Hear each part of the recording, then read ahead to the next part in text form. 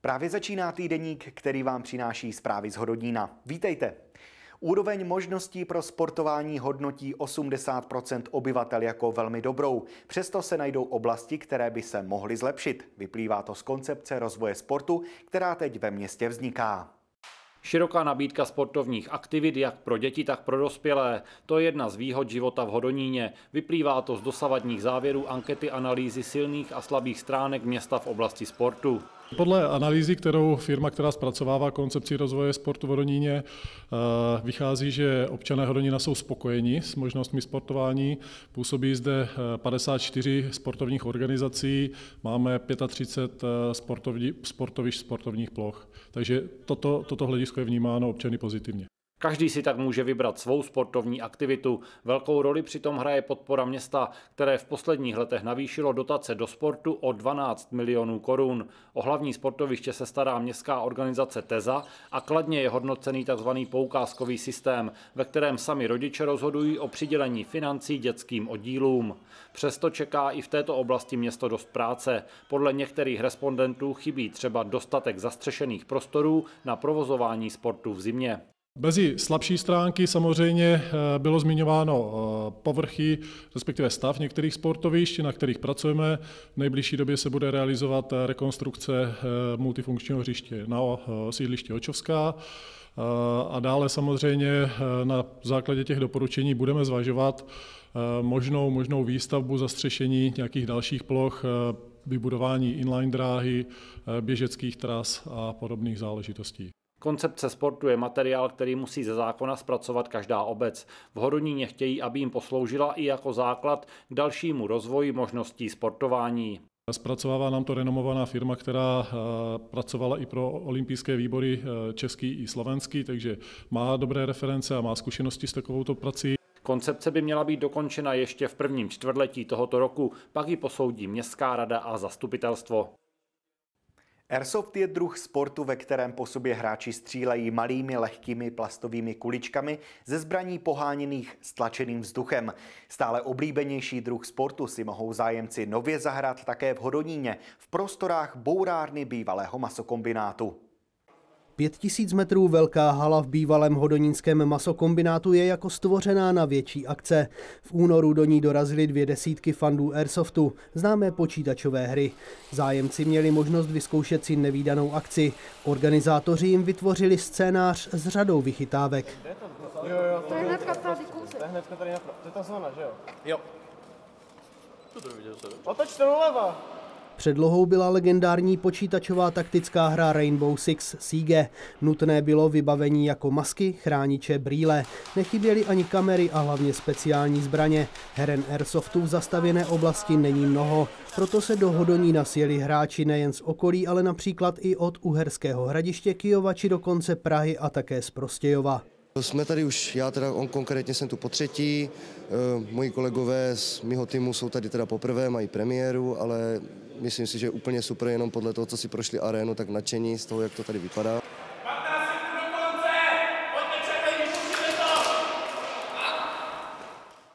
Areál Lázeňského parku posloužil k tradičním oslavám fašanku. Do průvodu masek se zapojili také návštěvníci lázní. Veselé skotečení průvodu v maskách, cymbálová muzika, tradiční úkony i speciality k jídlu a pití. To je moravský fašánk. Jeho podobu a zvyklosti se zábavnou formou snaží zprostředkovat také městské lázně v Hodoníně. Na letošním pořadu se podíleli například členové souboru Svatopluk z Hodonína nebo cymbálová muzika z Milotic. Lázeňský fašank jsme se rozhodli uspořádat, protože tradice hýbou nejenom Hodonínem, ale celou Jižní Moravou. A fašank je jedna z nich, protože exotika láká klienty jak z Vysočiny, tak Moravskoslezského kraje, Ostravského kraje, takže je to opravdu velká show. A chceme zpestřit odpoledne klientům hodoňákům i lázeňským hostům. Fašankový průvod se sešel ve dvě hodiny odpoledne před vchodem do lázní. Odtud pokračoval po areálu Lázeňského parku. Nechybělo pochovávání basy, tanec z podšavle a všechno, co k oslavám odcházejícího zimního období patří. V interiéru lázní si mohli návštěvníci pochutnat na regionálních specialitách, zabíjačce, koláčcích, božích milostech nebo koblihách. Dáváme přednost a samozřejmě prosazujeme naše místní regionální speciality. Vlastně z celého Slovácka z podluží, takže speciality, ať už alkoholové, ať už zabíjačkové, ať už sladkosti, všechno, co fašaňku patří. V maskách se objevili nejen zaměstnanci lázní a ochotníci, ale také klienti. Řada z nich se do hodonických lázní při této příležitosti opakovaně ráda vrací. Výstavní prostory sálu Evropa zaplnily historické kočárky ze sbírky Dagmar Němcové. Ta jich vlastní přes 300 a nejstarší kočárek vozil děti už před 170 lety. Víte, jak vypadala naše první vozidla? Pochopitelně byly to kočárky, ve kterých nás vozili naši rodiče nebo prarodiče. Název naše první vozidla dostala výstava kočárků, která je k vidění v Hodonínském sále Evropa a která kompletně pochází ze sbírky Dagmar Němcové. Za pouhých šest let se sběratelce z Bulhar podařilo zhromáždit více než 300 kusů. Opravuje je sama nebo s pomocí členů své rodiny. Za tak krátkou dobu je to úctyhodný výkon. Koníček nezná meze, někdy je to třeba do půlnoci, někdy mám třeba týden čas jako klid, jo, že třeba se mi nechce nebo jsem unavená z toho, ale když vidím potom tu práci, jak je to krásný ten kočárek a v jakém stavu mi došel domů, tak eh, z toho strašně překvapená a nadšená.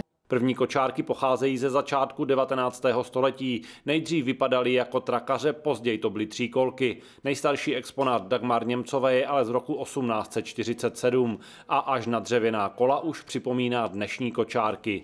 Novější kočárky dokumentují nejrůznější stylová a modní období až do 70. let 20. století. Například za války se vyráběly dokonce z papíru. Nechybí tu kočárky na hraní a ze sbírky Dagmar Němcové jsou i staré panenky, jejich oblečení a další výbava. Chodím různě po těch sekáčích, já to řeknu, jak to je, a scháním staré látky a šiju z toho. Trojrozměrné exponáty doplňují fotky zaměstnanců Masarykova muzea z doby, kdy se ještě sami v kočárcích vozili. Na návštěvu výstavy máte čas do 5. května. Kočárky Dagmar Němcové můžete často vidět v lednici, třeba když s nimi sama vyjíždí do zámeckého parku a během tohoto léta budou vystavené v zámecké jízdárně. Dělí je 42 let, přesto se stali nejen přáteli, ale i profesními kolegy. To vše díky vášní k fotografii. Seveřané Eva Bartovičová a Aleš Millerský nyní vystavují v kavárně Kina Svět Hodonín. Dvojice fotografů Eva Bartovičová a Aleš Millerský pochází z Havířova a Frýdku místku. Setkali se před několika lety. Aleš Millerský pracoval jako propagační fotograf a jako novinář. Na severu Moravy se setkal s hodonínským výtvarníkem Jiřím Hiršlem. Právě ten mu navrhl, aby uspořádal výstavu v Hodoníně. Já jsem posledních 12 let učil na základní umělecké škole, kromě teda své činnosti jsem učil foto, obor fotografie a Eva se tam přihlásila, tak před tři roky už tam nejsem, no tak před, před pěti lety, no, před pěti lety, a protože byla dost výjimečná proti těm ostatním žákům, ačkoliv předtím vůbec nedržela foťák v ruce, tak se to tak jako nějak, teď už za mnou chodí jenom s fotkama, tak jako a teď už jsme rovnocení partneři, je to výborný. Eva Bartovičová fotí od 16 let a má za sebou úspěchy v národní soutěži a výstavě amatérské fotografie ve Svitavách. Poslední tři roky také fotí pro módní firmu. Jde o druhou společnou výstavu dvojice, která představuje na tři desítky snímků z různých období. Na výstavě se najdou fotky staré 20 let i aktuální. Aleš fotí vesměs všechno, ale já fotím především tady uh, stíny, a portréty. Takže Aleš se přizpůsobil víceméně mě, aby jsme to dali nějak tak tematicky dokupy. Návštěvníci mají na výstavě také jedinečnou možnost porovnat dva způsoby pořízení i úpravy fotek. Aleš Millerský totiž používá analogové fotoaparáty na klasický film, zatímco Eva Bartovičová fotí na digitální fotoaparát. Hodonínský týdeník je u konce. Na viděnou se těším zase příště.